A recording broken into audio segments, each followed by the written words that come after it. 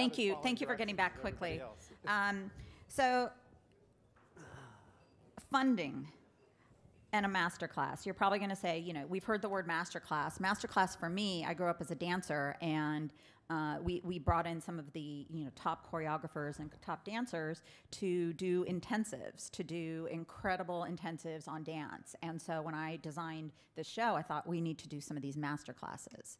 So um, I think it's a great context about. Uh, what type of information is going to be relayed to you. So this is an incredible brain trust of people on stage, and it's being led by um, Jack Young, who uh, seriously I feel like is reprising his role from last year's show. He's just an, an incredible. Um, he obviously is leading Qualcomm Life's Fund in incredible efforts, but wait till I just tell you a few of his hobbies made me feel incredibly lazy.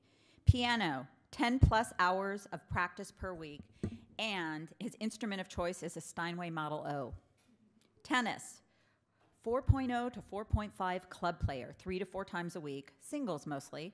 His racket, okay, I can't even pronounce it, Babolat. Is that right? Oh my. Pure Drive Light GT. Skiing, 10 plus days per season. Favorite mountains are Aspen, Deer Valley. His equipment, K2s. The other one I can't read. So let's bring Jack up. Thanks. Thank you, thank you. Thank you very much. Um, can you hear, me here? Um, thanks for the, the generous introduction. Uh, hobbies aside, I do work, and, and in fact, in Qualcomm Ventures, we're considered a very hard worker. And last year, we were, we were voted as, as the most prolific uh, investor in digital health. So I'm honored to be back here again. And uh, just to lead off, obviously, you know, the digital health, thanks to all of your support and interest, it's, it's, it's very, very high. Uh, in terms of investment, probably some of you have seen the press, uh, Rock Health compiled a status that shows a 50% uplift in both the number of deals that funded, about 150 deals, about a $1.4 billion went to work. That's also about a 50% uplift from the year before. There's about 180 some organizations, ventures, institute, other institutions invested in digital health companies. So we see a good health uh, clip uh, crescendo into this year. So my prediction, personal prediction, is going to be somewhat uh, a $2 billion investment into the digital health. And then hopefully we'll see some uh, interesting exits, which is already happening. So as uh, Jill mentioned last year, I was uh, giving a task to give a, a talk on uh, financing uh, from all stages. So when she and I talked about this year, earlier this year, she said, hey, why don't you come back to do this again? No, no, no, no. I go, well, even though last year was fun for me, but in terms of this 360 degree uh, uh, financing or from a, from an angel stage all the way to exit, I'm only have a, a, actually a view of a very small portion of it in a corporate venture uh, mid to later stage. So instead of for me to repeat that, I thought it wouldn't be great that I can uh, call up my friends and colleagues to uh, have them to share their perspectives. So instead of for me to give another yet a monologue. So that was the essence of uh, designing this class. Uh, so with that, I'll uh, kick off with some introductions, and I have a, a, sort, a list of questions prepared for the panelists. We'll lead off that, and hopefully we have some questions Q&A time leave uh, for the end of the session.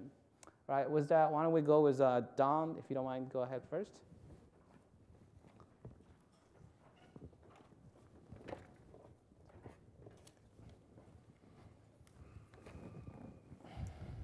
So I'm Don Ross, and I'm uh, Managing Director and Founder of Health Tech Capital. Uh, we're located up in the Silicon Valley area.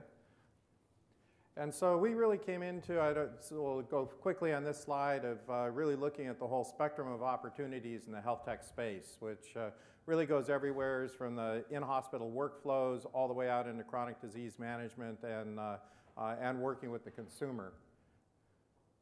And so what we did when we put together Health Tech Capital, Andy Geist and I founded it about uh, three years ago.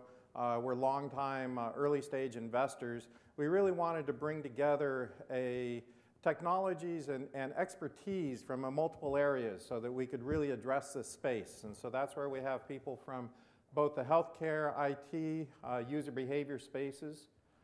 And with that, we've really put together a whole ecosystem. We felt that we had to really get everyone under one tent. Uh, so with that, we have venture capital members, we have a foundation of angel members. Uh, at, at its heart, we are an angel group and we do do angel investments. Uh, that said, we'll do both uh, internal syndications with our other industry and venture members. We'll also do external syndications with uh, other angel groups. Uh, and so that's also given us a lot of flexibility. We have a tremendous amount of uh, focus on also providing mentoring and help with the companies because in this emerging space of health tech, nobody knows everything. And so being able to bring a breadth of expertise in, really work with the companies to, uh, uh, to plug holes, to uh, open up Rolodexes, to really having understanding of marketing and how to sell to hospitals. Bringing all of that in really helps with both the company's success and of course if the company's successful, that helps with our investments. So this is part of just a, a, quick explanation of this collaborative ecosystem where we're both providing both funding and mentoring, strategic partnering. Uh, our hospital partners also can provide validations of pain points. And then this is just, i I'll close on this slide here because I know we'd like to get to the discussion. We also have a, uh, a conference that we do that's quite synergistic to this conference. It'll be coming up in the fall, so this is my brief shameless plug for the uh, our fall conference where we're focused really on the nuts and bolts of building businesses in the health tech space. So thank you very much. Thanks, Don. Well, next up, uh, we have. Kilu. Thanks. I'm Kilu Sanborn with Oxford Finance, and I don't know where my slides are, but uh, I can talk. I can do a chalk talk too.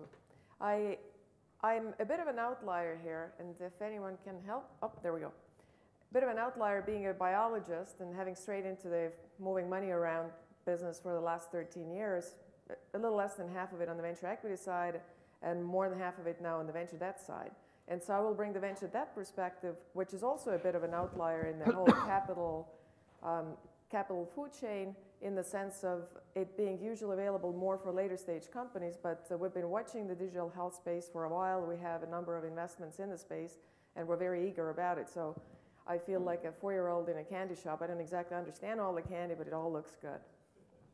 and so, just a couple slides about what is venture debt, since I get asked that a lot.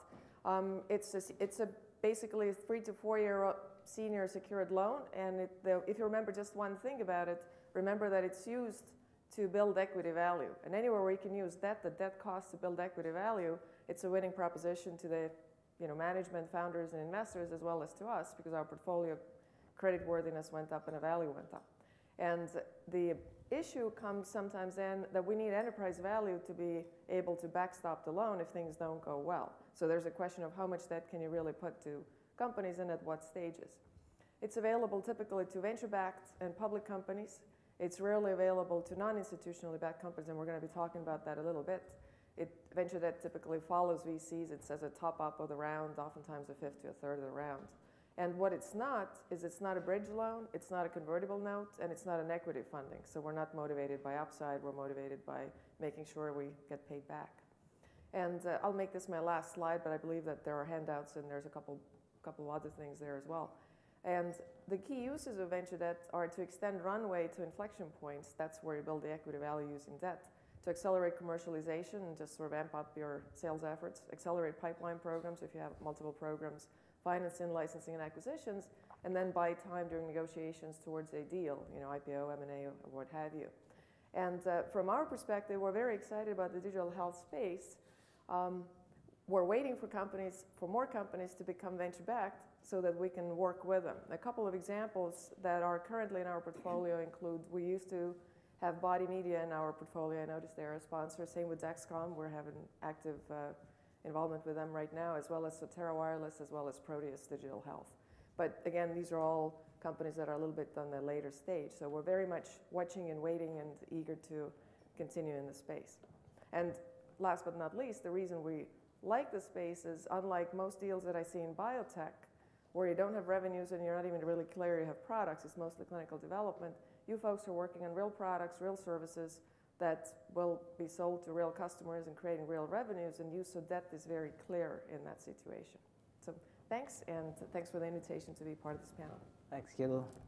Well, it's fascinating the uh, I heard this is probably the best tagline that describes debt financing in my uh, professional career debts to build equity value. I like that.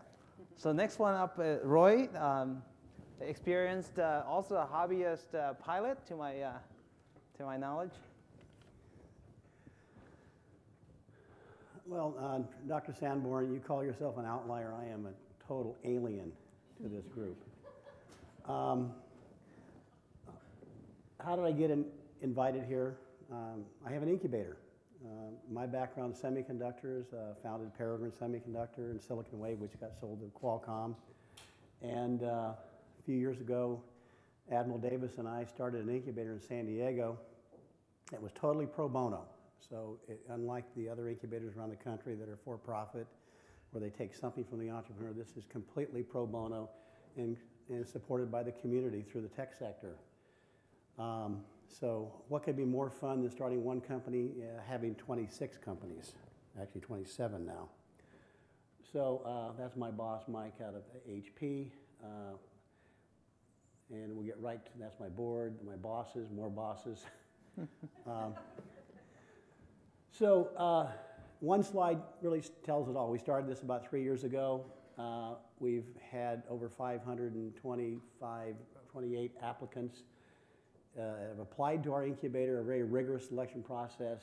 Uh, we've raised $146 million in venture capital for the companies while they've been in the incubator and graduated. We've had graduations and three acquisitions. Uh, 27 companies incubating now and 600 jobs created in San Diego, which is just fabulous for the community here. Uh, companies, many of these are healthcare IT companies. Uh, we had no idea what kind of companies would apply to enter in the, to the incubator. We've had 12 round, 12 selection rounds uh, to have to admit companies. And Admiral Davis and I didn't have a clue of what would be applying. We thought it would be traditional wireless telecom stuff. And amazingly, we got lots of healthcare, IT, and digital health companies. And um, that got us immersed in that area. Um, I won't go over all of them, but many of them are in the healthcare area, including some genomic startups. Um, as you can see, we've got quite a few companies under incubation. One of our most famous companies is a company called EcoATM that recycles your cell phone in the malls around the country. They came to us as a cardboard box, and we got them incubated and out and funded. Uh, scoring process, how do, you, how do you enter the incubator? Pretty rigorous process, not unlike venture capital, looking at deal flow. Uh, what do they get? Uh, amazing. If you enter our incubator, you're the luckiest venture in San Diego because everything is pro bono. You pay us nothing to enter, you pay us nothing while you're there, you pay us nothing when you leave and uh, free rent, free utilities, free broadband, mentoring, access to capital. Um, just an amazing opportunity. Um, when I started my company, it was a very lonely place, and these guys are lucky. Uh, every month, milestone, how are they doing, measure their milestones, operational reports. So this is come to Jesus time every month. And when they turn all red and we can't fix them, no matter how hard we try, they're asked to leave. It's very Darwinian. Um, Qualcomm, great partner. If companies enter the incubator in areas of interest to Qualcomm and their ecosystem, then Qualcomm Labs provides up to a quarter million dollars of seed funding for these companies. And uh, we have now, I think, five companies that have been funded by Qualcomm, including uh, one recently uh, through um, Qualcomm Labs, but it's a, uh, a life science venture with a semiconductor twist to it. So uh, again, free facilities courtesy of the Irvine Company, which is the largest private developer in the country. And uh, they give us 34,000 square feet of office space, totally free, uh, both at UTC and uh, downtown. Uh, some one-liners on the companies we have. Uh, great companies. we're real proud of all of these. They went through a, a very rigorous process to enter. And uh, so they're all on our website. Uh, as you can see, a lot of fun. I currently also run a cardiology software company. Don't ask me how that happened, but a dear friend of mine founded a company, Dr. Greg Feld, out of uh, UCSD Hospital. And um, uh, I joined the board after they graduated from the incubator. just because they graduate and raise capital doesn't mean they're home free. And uh, so I jumped in to be CEO last September, among my other jobs, thoroughly enjoying it. And one of the things I want to leave you with is that this area of healthcare is going to see some dramatic changes with the, infl- i- i- with the, uh, with eng- engineers from other sectors moving into this space. As other sectors mature, like semiconductors, et cetera, et cetera, you're going to see these really bright people who have zero healthcare experience come in and re-energize this space and work with clinicians and the life science group to do things faster than they've ever done before. Thank you. Thank you, Rory. Last, Uh, last we have Sharon. Good morning, everyone. I don't have any slides, so I'll be brief and do an introduction of myself, and we can jump right into the panel. A little bit about my background. I got into healthcare about four years ago when I became president of One Medical Group, which is based in San Francisco and is a boutique primary care model focused on technology-enabled service delivery that is building a national brand. My background prior to joining them was deep in retail. I spent many years with KFC when I was part of PepsiCo and with The Gap.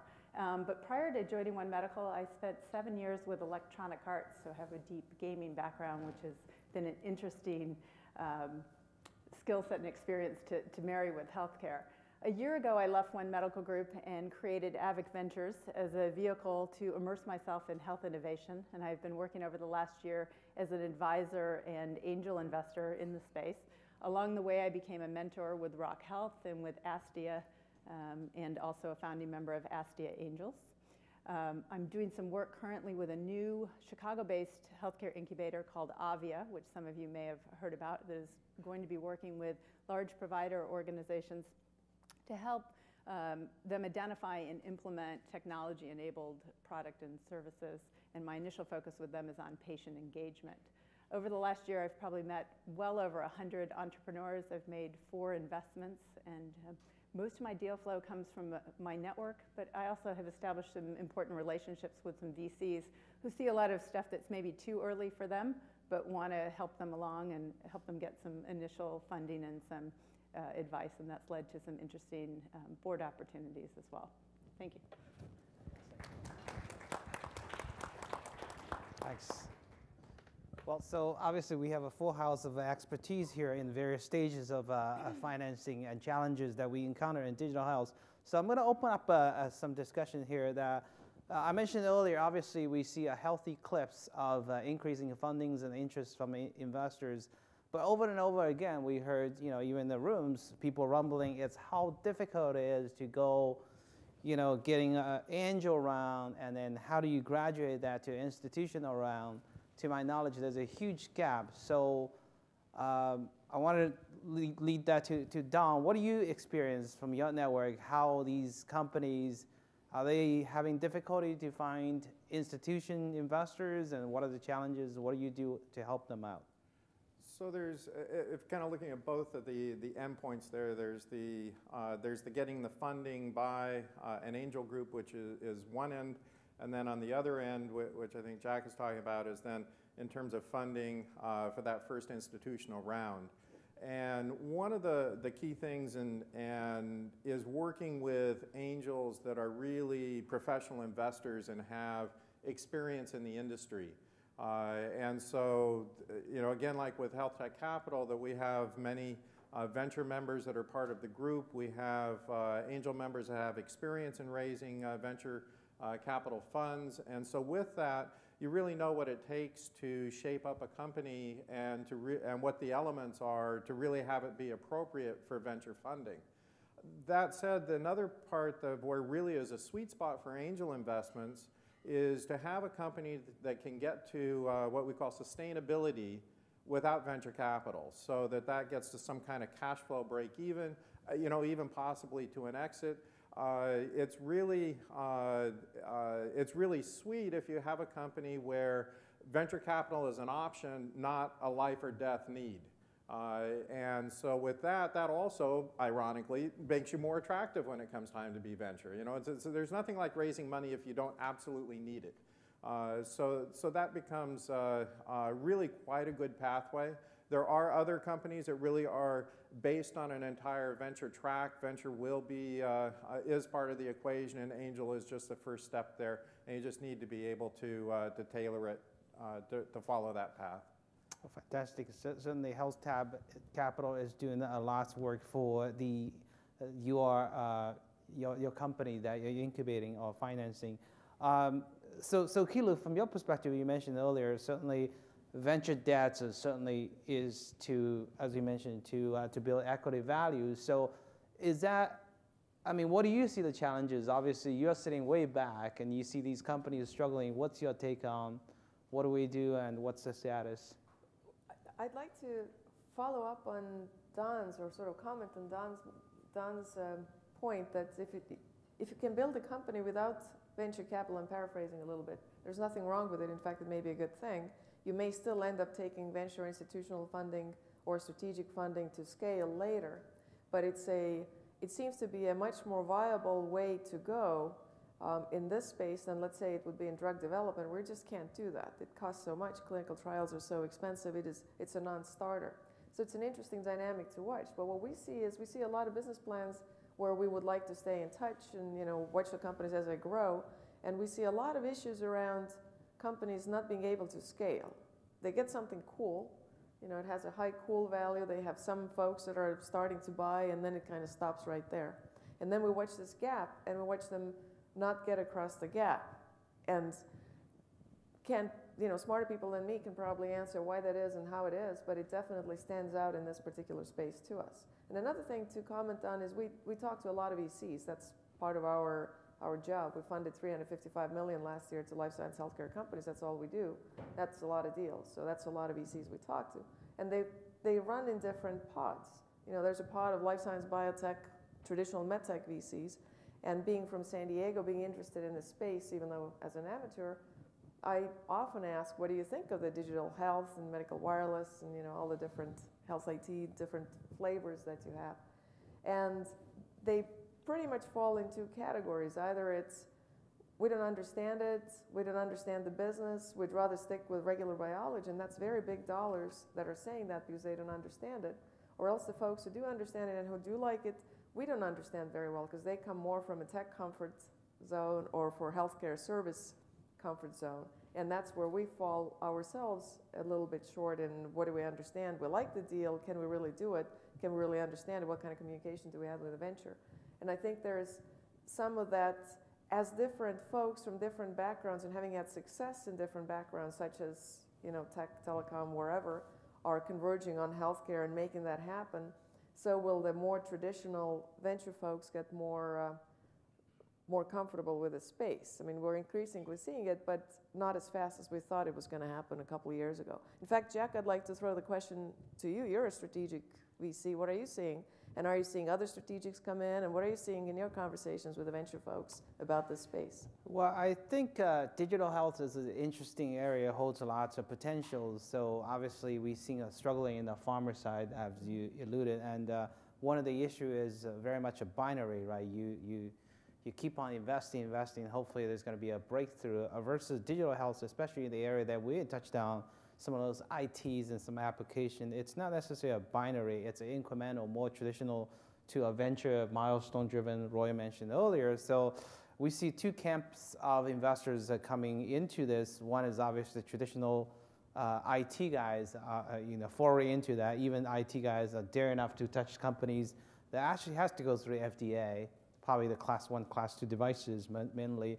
Or the other side is we see the biotech guys are certainly look optimistically, how do they making a play, shorter horizon, capital efficient. So we're very lucky. I think there is a, a conference of uh, both sides uh, uh, getting into that. Uh, but meanwhile, you know, you, you, could, you could argue the other way. Is neither side want to touch some of the companies, perhaps some of the companies in this room. Yeah.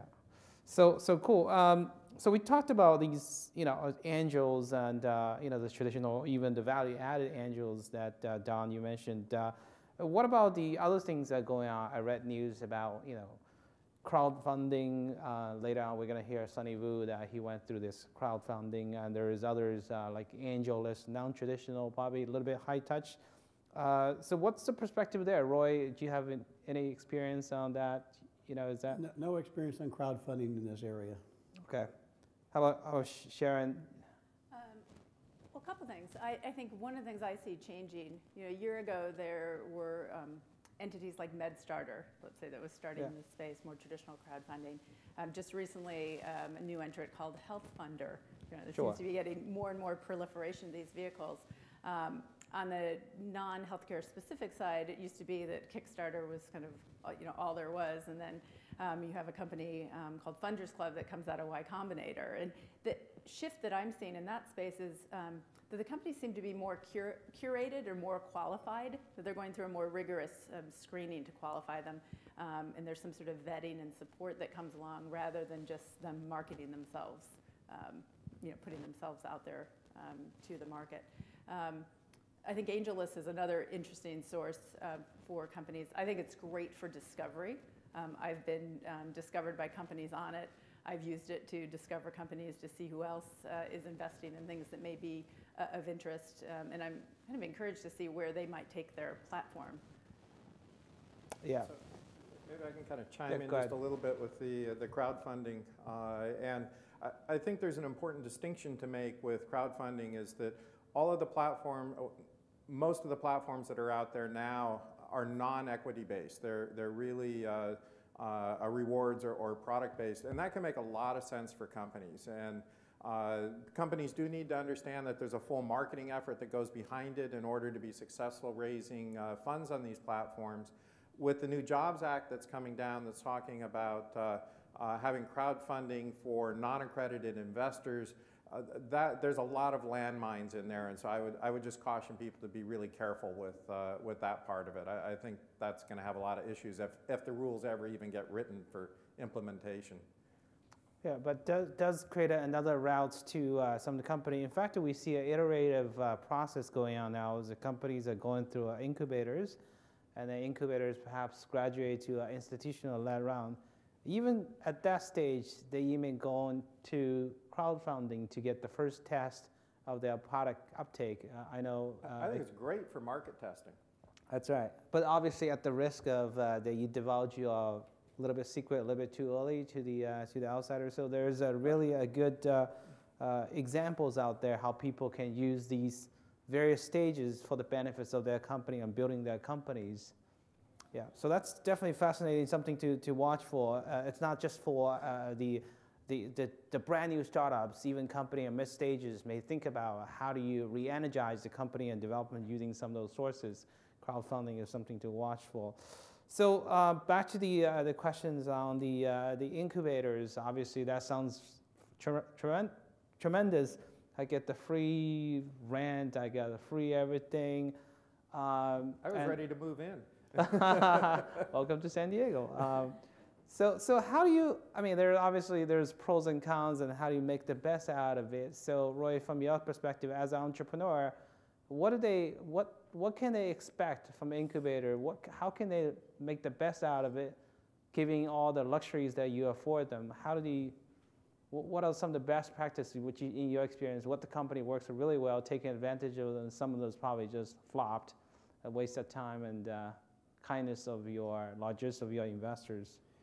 Well, back to the investor question we have here, uh, it is very, very difficult to raise capital now.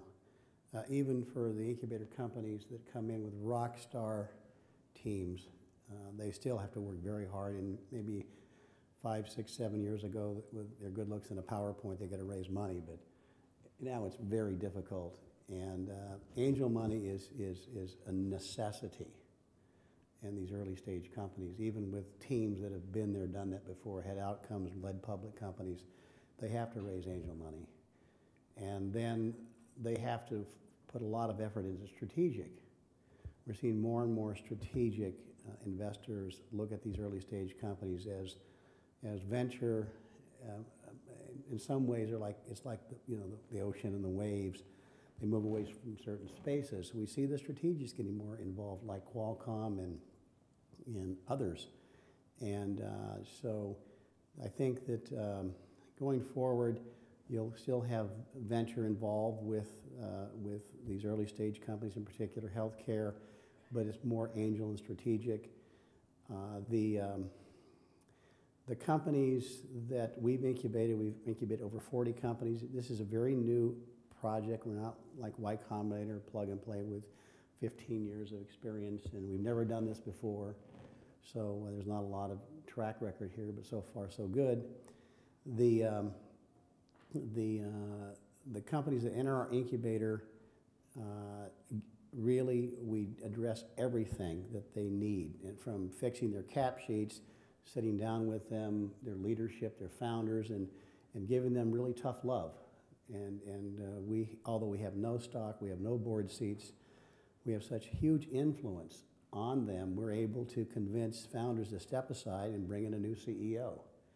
Uh, and um, that, that influence, uh, that realistic approach is what's really valuable. And then I reach into my board of directors when a company is far enough along where I feel, we feel as a, a committee and the, and the oversight committee at- at the incubator, they're ready to present to a large strategic, then we'll set that up.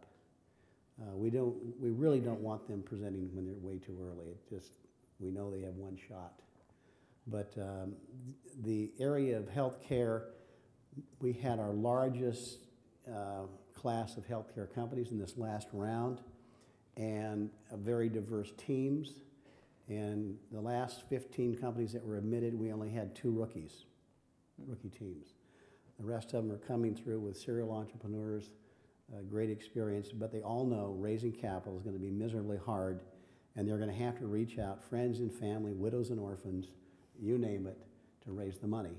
And most of it is uh, on notes that convert at the Series A. But uh, make no mistake about it, I see this every single day.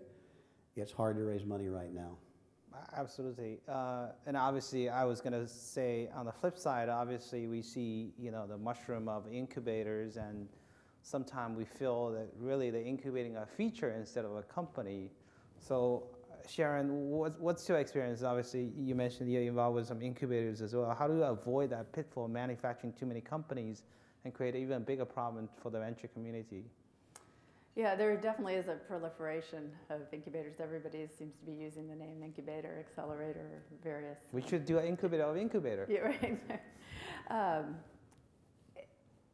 you know, obviously the one that I'm closest to is, is Rock Health uh, in San Francisco. Class five is, is just starting uh, with them, and, and they've changed a lot over the last uh, few years. They're getting more rigorous in their screening. They're a lot more serial um, entrepreneurs. Um, that in part has come from adding uh, partners like Mayo and, and Kaiser and um, venture firms like Aberdare and Mohr Davidow and Kleiner. Um, the bar is getting getting raised. It's it's getting much tougher, and um, I'd say you know all these programs are not created equal. For, I think they can be a huge benefit for an entrepreneur to go into, um, but I think it's important to look at what is the the value add, and the value add is not just the the capital, which might be about hundred thousand uh, dollars that they're providing in exchange for a fairly high percentage of equity. I think six percent is kind of the the going rate, whether it's a TechStars or a Sure. Rock Health.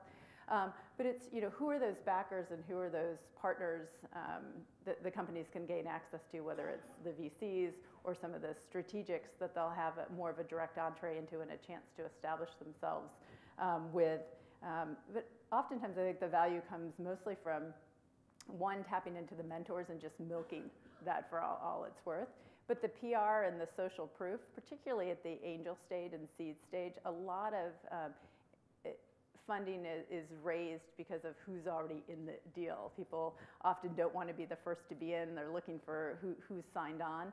And being part of an incubator can provide some of that social proof, I think, in, in credibility, particularly if you're one of, one of the more established ones. And there is a, a, a bit of a hierarchy, and certainly um, ones with better um, you know, geographical um, Yeah. penetration. One of the advantages that we had going in, we, uh, CommNexus is one of the leading high-tech associations of San Diego, uh, and a board that goes across sectors. And that got well-established, uh, well-supported in the community, and then we started the incubator. Sure. So that, that gave us this, really this great advantage of having the broader community, Qualcomm, LG, Sony, Viasat, the local executives, and these are operational people that are on the board, have real day jobs, uh, it, totally involved with our incubator, as opposed to having to reach out to those strategics that don't even know what we're doing. So that handoff is very smooth with our incubator companies when the time is right. Yeah, absolutely. Especially, I think the incubators organize them well, especially with a certain domain expertise.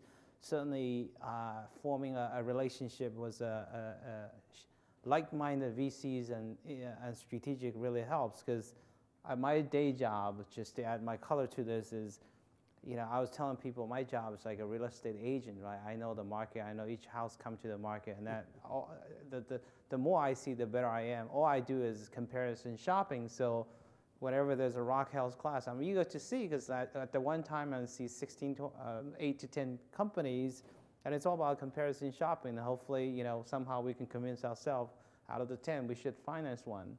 So definitely, I mean, it's it's uh, it's hard. Uh, I have to say in digital health. Um, unlike in social, uh, uh, social uh, digital media, um, you know, obviously, just kind of talk about a little bit on, on our side. You know, we just had an exit, a company called Waze, that Google bought for 1.15 billion dollars. Consider that company has no revenue, and yet they unleashed 1.15 billion dollar cash into Israel. They were talking about there may be an impact to the to the, to the fiscal in, uh, in Israel. But what that means is that that $1.1 billion end up in some very entrepreneurial, spirit, spirited people, right? Some of the angel investors. So they'll definitely reinvest.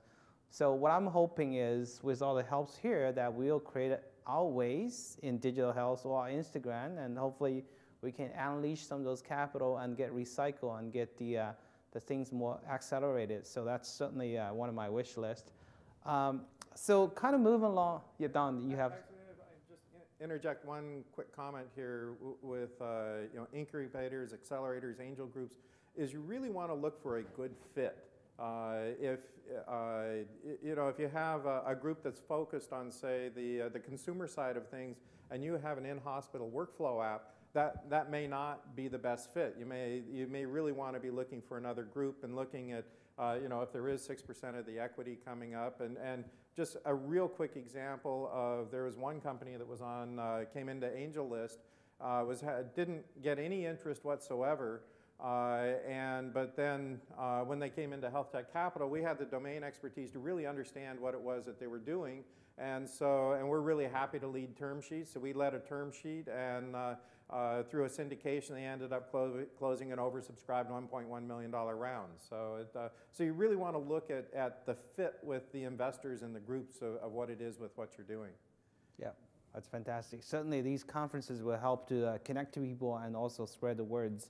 Um, so, move on a little bit. And obviously, companies succeeded and they get some uh, institutional financing. And Kiluu, you mentioned about this debt to build equity. I really take that note here. That uh, so, what do you think? What's a good time uh, for a company to get the maximum va- maximum value and timing to get uh, venture debts and let's say I just closed $10 million. Should I wait for six months or should I go right away and knock on your door? What are the pros and cons? And That's a, that's a great question. I, I'd say the good time, to, it depends on where that 10 million takes you. What's the timing of it? You might want to calculate where are you going to run out of money, and you don't want to go and ask for venture debt when you're about to run out of money because you're just not going to get it. On the other hand, if it takes you for three years, you probably don't want to do that either because you'll be paying us and you really don't get anything for it. So look at how much you raise. If you raise 12 to 18 months worth of capital, you can probably do that after the equity raise. Sometimes you can do it together with the equity raise. Oftentimes, especially in the current times where you know it's sometimes difficult to get rounds together, you have you're setting out to get a certain amount. Um, we're happy to go in if equity goes in. It's just our condition we can top off the round. So that's done at the same time. But I'd say the, the best time is not too late, but also not so early that you're not going to use the money. And so that really depends on where the money takes you to, what's the milestone, and what can you show that you're getting for the debt. And, and so specifically, when somebody comes to me, because not everybody has the same philosophy around debt. We like and we're very well aligned with the companies and the management teams. We're, you know, we're debt investors, so we think that way, but we're very much looking at what do you get for that. Some folks come and say, well, I got some equity, I should get some debt because it's extra capital. That's great. But I'm going to have to ask you, what's that extra capital getting you? You know, what you, I'm not going to say no. I'm going to say, what are you going to build with it? And let's figure out what's the right amount. Let's figure out what's the right structure, and then let's see what value it gets you and what value it gets us. Because otherwise, if it gets you no value, it's extra capital. But by the way, at the end of the day, you still owe us that money, and you've now spent the money, and you've built no value from it. You're just worse off than you were before. You didn't want to do that. Sometimes that happens just because in real life, not everything works out. That's okay. That's our business to say no when we think you're too early or, or you know, too small or too risky for debt. Because last thing that a debt provider wants to do is overlever the company. That's, you know, I don't want you to give me your keys because I don't want to be operating your company. Ideally, you'll go and do a great job and build it value. And then another way to answer that question is also what's the what's the general stage? If you're looking to commercialize, for example, you already have a product and you're launching or you're even in a little bit of revenue, that's a very easy use of debt because you can then just sort of accelerate and amplify that. And um, venture debt is uh, something that you can get, commercial debt probably not yet. And uh, another venue where any time is a good time, particularly if you're looking to build equity value using debt, is when you look to license or acquire something in. Because then, right as you sign the check, you will have created additional value by bringing in this asset. So, That's certainly something to consider that the financial engineering can really benefits the company if you do the right moves or right calculation. And uh, certainly uh, there's lots of uh, vehicles out there. Uh, so um, I have another thing that we want to talk about is you know some of the practice happening in actually in the early stage financing more or less. Uh, you know, especially in the Series A, there's lots of debates about whether should take a convertible notes format or should they do a price around. I, I'm sure each of you have some uh, some opinion on. So so Don, what would you typically did you do? Do you do a convertible notes or do you have a preference to do a price around?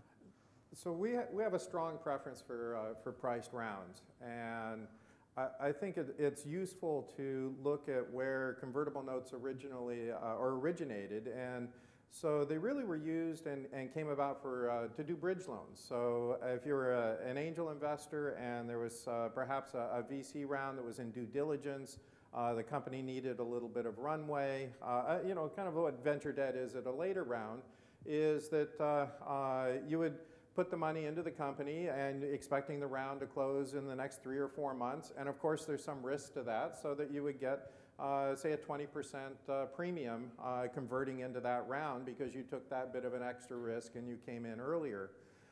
There's a very big trend now where uh, of using convertible notes to do entire funding rounds. And from an investor standpoint, from a, a disciplined professor, uh, professional investor standpoint, that, that really uh, creates a lot of difficulties. Uh, for one thing, you know, your money is going in now, uh, and I would certainly expect that 18 months from now, uh, that you're going to make a substantial improvement in the valuation of your company if you're doing a good job. Uh, it really should probably be double or, or more of what it is today. Yet it's going to be a, a 20% discount to some price that's totally unknown in the future. Uh, so that, that makes a, a more difficult investment proposition. But probably even more important is that in doing a price round, and you're really, uh, from our standpoint, again, it comes back that mentoring and really getting involved and being partners with the company. Because uh, your investors really should be partners. If all they are are dollars, uh, you're really not getting your value out of your investors.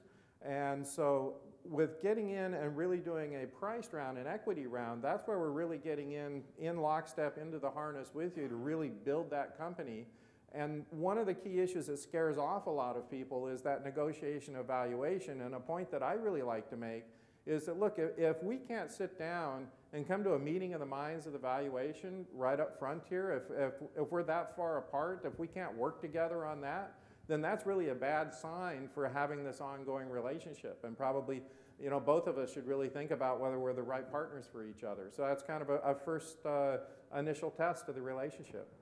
That's, that's very good. So certainly you have a firm position. How about the other panelists? Do you have any inputs So one way or the I've, other? I've invested in, in both. Um, typically, it, it's kind of hard. There is, there is a proliferation of um, convertible notes uh, being used for longer periods of time and to do full financings. Um, I think you know some of these ear- earlier companies, it's often harder if they don't have a partner like a Health Tech Capital or somebody uh, to have somebody lead uh, in setting what the value is because it's a very fragmented uh, investor base. I would agree, you don't want unprofessional people setting your valuation. Um, and, and if the entrepreneur is setting it, that can uh, also be uh, some, somewhat concerning. Um, often, many of them are so early that they don't have a lot yet to hang your hat on from a valuation perspective um, either. So it tends to go hand in hand with where they are in, um, on the spectrum of, of um, maturity, if, if you will, as well. But uh, all things being equal, I would prefer to be investing um, equity unless it is more of a bridge situation because the 20% discount that's typical typically isn't enough of a reward um, for what could be 12, 18 months or, or more um, of having your money tied up.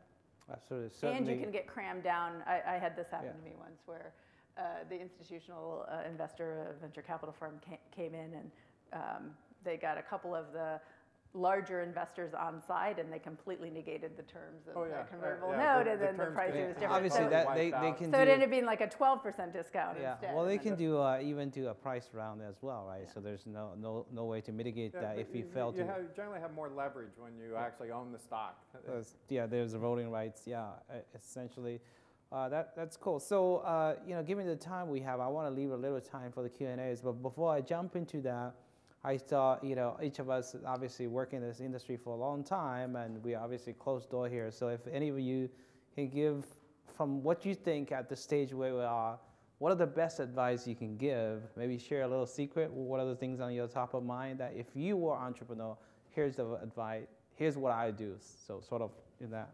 So, so I would say in the companies that coming that come into us, uh, and uh, to play off a, an earlier comment, we, we don't fund PowerPoints either. We fund real companies with real teams, and the companies that really have proof points on their business model, uh, really understand who their customer is, and have some sort of a, uh, a proof that the quote the dog is going to eat the dog food and pay for the dog food. Uh, so there's some evidence that there's uh, uh, that the payment model is going to work.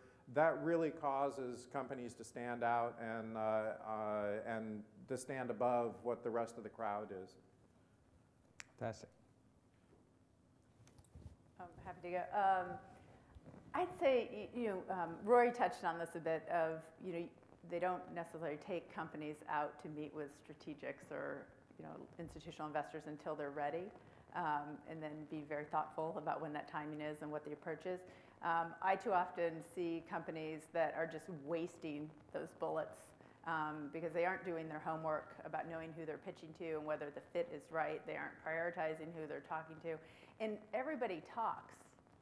Um, so I think I'd encourage people to be more judicious and um, thoughtful and more prepared and to tailor your pitch to, to, to the audience um, a, a bit more. Um, if I get one more um, email that says, Dear Sir, um, it's a dead giveaway that somebody didn't even bother to read my website where I spell it out very clearly what I'm interested in and what I'm not. So um, I'm shocked always at the number of people. How can you take them seriously if they won't Yeah. take themselves seriously in their preparation? So do the homework. Don't waste your bullets. And uh, I, I have to agree with you. You know, obviously, a warm introduction is very good, but you know, you, you got to be sensitive and how do you position that.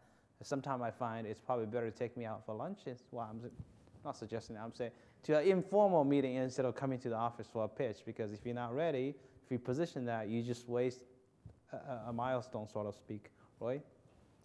Well, if I could really give some advice on raising capital, and uh, I raised a lot of money in the last 10 ventures I've done, and six of them have cratered and lost all the investors' money, and four of them somehow made it. And in baseball, those are Hall of Fame numbers. Um, but uh, you, you really, it's nice to be able to have every angel investor understand the domain, but it's not a necessity at all. You need a few of the angels that, that are in the round to understand what the heck you're doing, and it's really important that the other angels look to them as due diligence. But at the end of the day, it's they're high net worth, qualified investors, and their money spends like anybody else's money.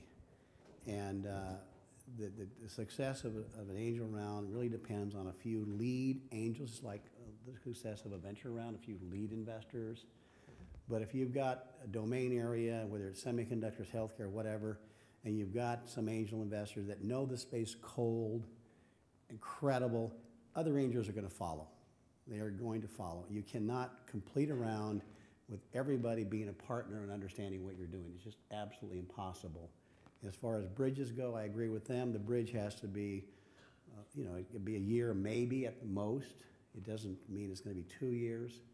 We're seeing a lot of bridges at the incubator, and uh, that's an advantage uh, because at that point, many in the early stages, they don't have a clue what the valuation is. And if they get angels in establish a valuation, then it leads to disaster down the road. But uh, again, angel money is absolutely necessity, and the key to raising angel money is to get some, get a few domain people that know what they're doing, and other angels will follow. Yeah, fantastic. Kiluu? Um, Take the money when you can, but be disciplined about what to do with it. It never hurt anyone to have extra money, but have discipline. And it hurts a lot of people to run out of money or, you know, leave money behind when they could have had it and then run out of money. That's right. As a founder, as CEO, at the risk you could lose your job, you lose your own company because you raised the money and you didn't smart, you didn't spend smartly. So uh, we do running tight on time, but I, I was hoping that we can take some uh, quick questions from the audience. So if anybody have any questions for any of, Way in the back, somebody, okay, go ahead. Hi, great, great panel. Thank you so much. I have a question about the scalability and sort of uh, we talk, we hear a lot about emerging growth and managing emerging growth, rapid growth, and you you see that with waves in other other industries. How do we get over the scalability issue with the funding, and what are key learnings with regard to that, and be able to get through that emergent high growth phase?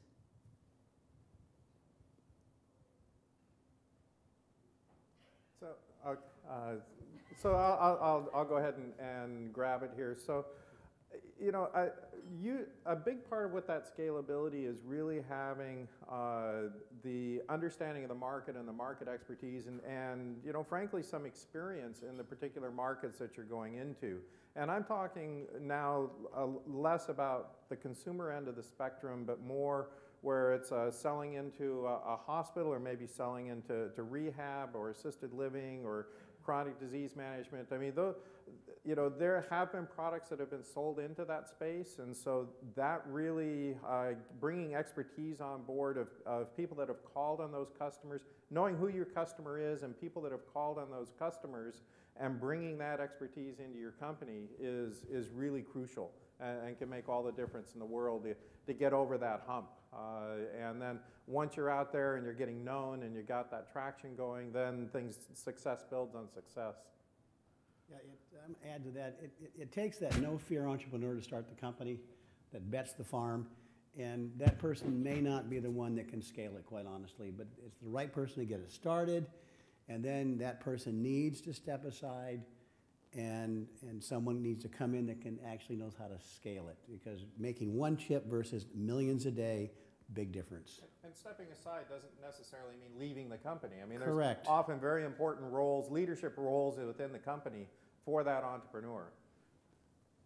Well, I, I guess I was just going to add some of my own color here. The, uh, the scalability, it's actually much to do as the design of your company, right? So uh, most recently I had a, a talk with my, one of my portfolio company. I was telling him that how well some of the trackers, Fitbit and Jawbones, they're doing and scaling, obviously.